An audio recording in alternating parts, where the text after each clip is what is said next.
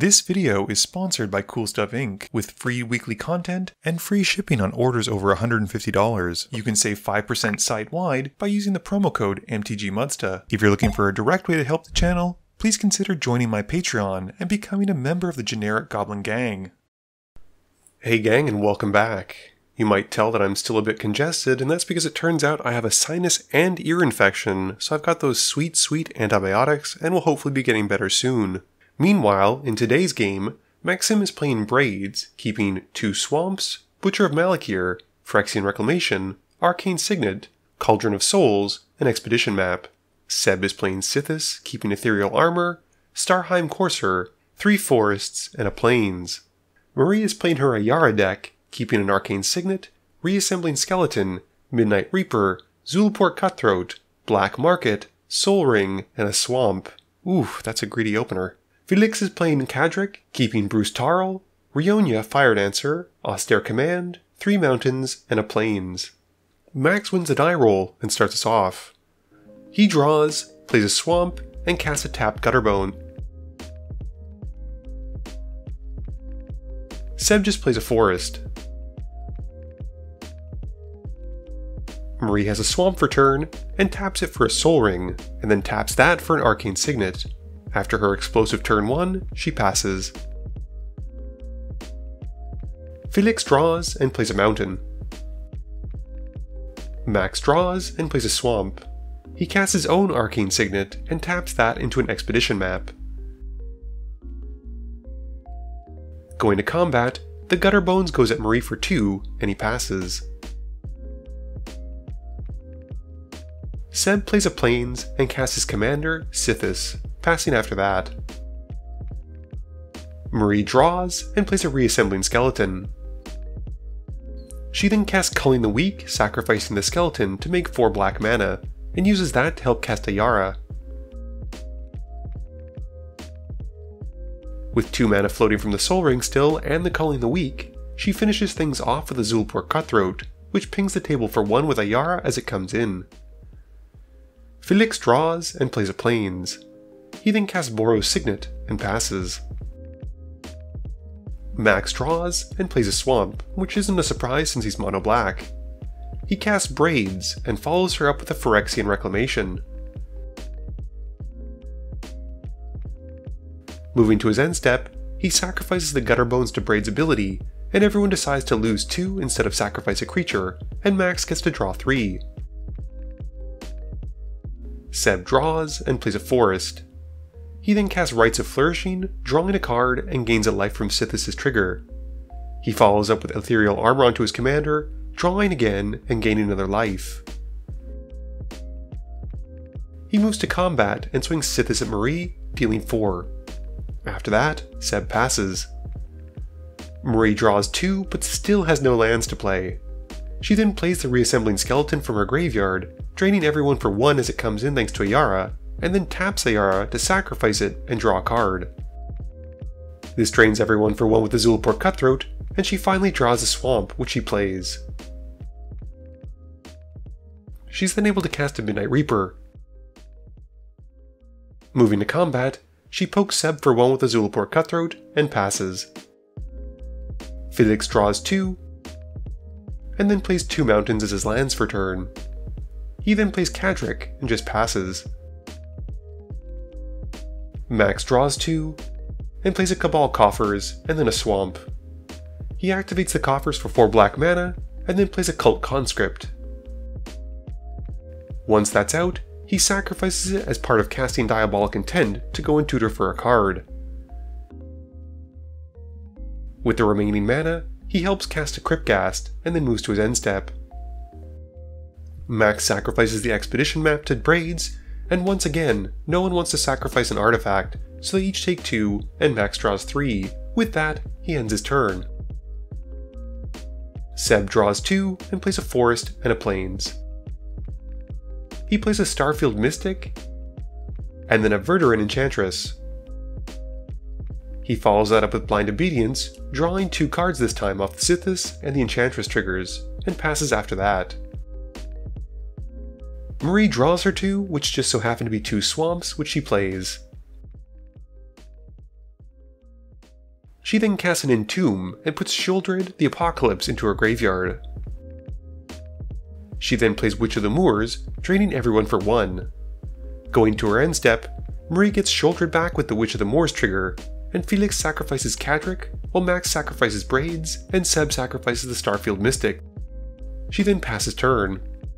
Felix draws 2 and plays Thrill of Possibility, discarding Chandra Torch of Defiance to draw 2. He then casts a Swiftfoot Boots, but has no lands to play and has to pass. Max draws 2, and in his main phase, casts Read the Bones. He scries 2, draws 2, and loses 2. He then plays a Cabal Strongholds, and then casts in the Wellspring, going to find a swamp to play as his second land for turn. Max then recasts Braids, paying the extra 1 to extort everyone, and gains 3. He finishes things off with a Mind Crank, extorting as well, and then goes to his end step. This has Max sacrificing the Wellspring, and everyone decides to take 2 again, while Max gets to draw 3, and mills them for 2, and goes to find a basic from the Wellspring hitting the graveyard. After that, he passes. Seb draws his 2, and casts a Starnheim Courser in his main phase. He then plays a Wild Growth onto a forest, drawing 2 cards, and then plays a command tower. He then casts Ghostly Prison, extorting it, and draws two more, and finally finds a second land with a Temple Garden, which he plays untapped, losing two. Seb then wraps it up with Gift of Paradise, putting it onto his plains, drawing two more, and gaining three life, and then passing to Marie. Marie draws two, and then casts Sheoldred in her main phase. She brings back the reassembling skeleton from her graveyard and sacrifices it to Ayara again, drawing one extra card from the Midnight Reaper. She loses one from the Reaper, but does gain 5 life from Sheoldred and the Zulaport Cutthroat trigger. Marie then plays a Swamp for turn, and then her own Cabal coffers, and then taps enough to cast Sanguine Bond. After that, she moves to her end step, and the Witch of the Moors triggers, with Max sacrificing Braids, Seb sacrificing the Enchantress, Felix has nothing to sacrifice, and Marie has nothing to put to hand. She then passes after that. Felix draws 2 but loses 4 from Sheoldred and has to mill 4 from the Mind Crank. He then plays a Wayfarer's Bauble and then casts Magda. With no lands to play though, he has to pass.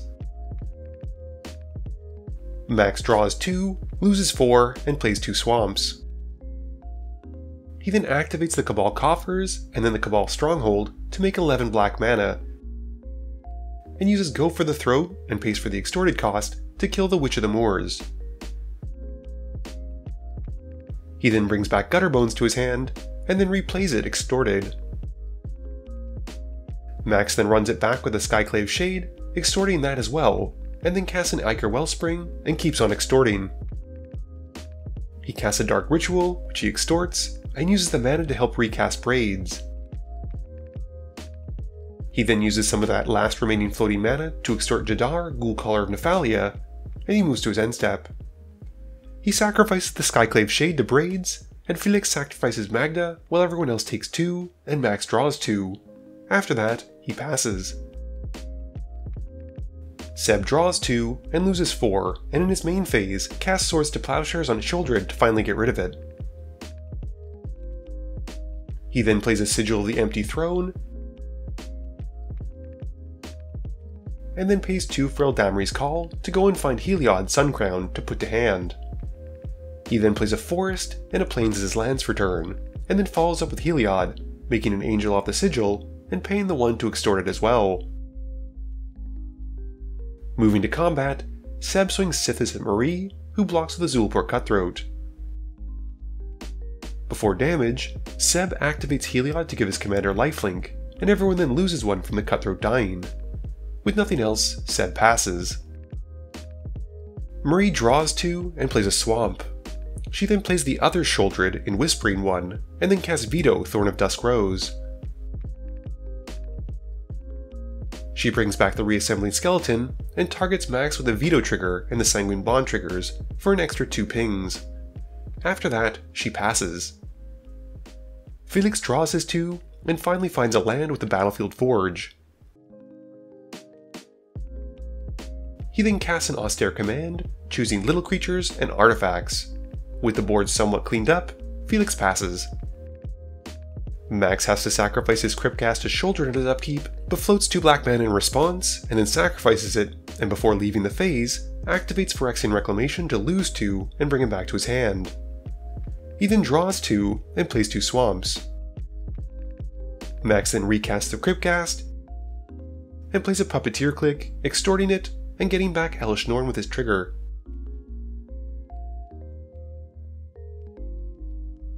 Max then follows up with the Butcher of Malakir, extorting it as well.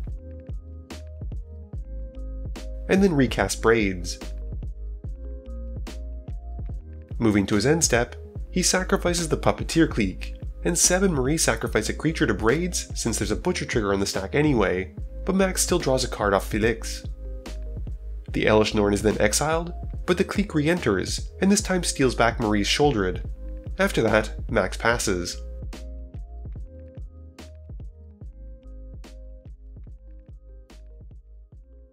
Seb draws and plays a Satyr Enchantress. He then replays Sythis, drawing a card and making an angel. He casts Felidar Retreat, making another angel and drawing two. He then plays a forest and a plains as his lands for turn. Seb then makes two cats off the retreat as the lands come in, before casting Helm of the Gods, paying the one to extort it as well. With that, Seb passes, and on the end step, Max exiles Sheoldred from the Puppeteer Clique. Marie draws and plays a Swamp. She then casts an Exquisite Blood to set up the combo, and then casts Ayara to trigger her first life gain and life loss. This will allow her to go infinite and drain everyone out, and Marie is able to take the game. Game review time. So there was a lot of extortion in that game since three decks had access to it. And yes, Seb could play Blind Obedience in his deck because the black and white symbol is reminder text and not part of the actual card. His Sythis deck got going by the end of the game, but unfortunately by that point his life total was pretty low, unlike Marie and Max, who seemed to be doing a decent job of draining each other back and forth. I think the worst off in this game was probably Felix, who basically got the brunt of everything, and the only real contribution he did to this game was probably the austere command to try and keep himself in it. I was very impressed with Braids as I always am, and the amount of value that she gives by sacrificing a permanent at the end of turn to force opponents to sacrifice it or let you draw cards is just great. That Butcher of Malakir being out was even more backbreaking, but it actually worked in his opponent's favor because they knew they were going to sacrifice a creature anyway, so they might as well deny him the card draw from Braids. I haven't seen an Ayara deck, I think, in a long time, and probably the last time was Marie's deck. And she's just as good as I remember her. I love the fact that she drains when she comes in, plus she has a pretty decent card draw ability on her that isn't overly broken like Villas. I know some people might be disappointed that she won through combo, but I thank her for it because my fingers are getting so tired from ticking up life totals and dropping them down several times a turn. This video wouldn't be possible without the help from my sponsors, Cool Stuff Inc., Multizone, Original Magic Art, and Alter Sleeves. But it definitely wouldn't be possible without the help from you, the viewers, and my patrons. So I just want to say thank you for watching, and to remember, friends are just opponents you haven't eliminated yet.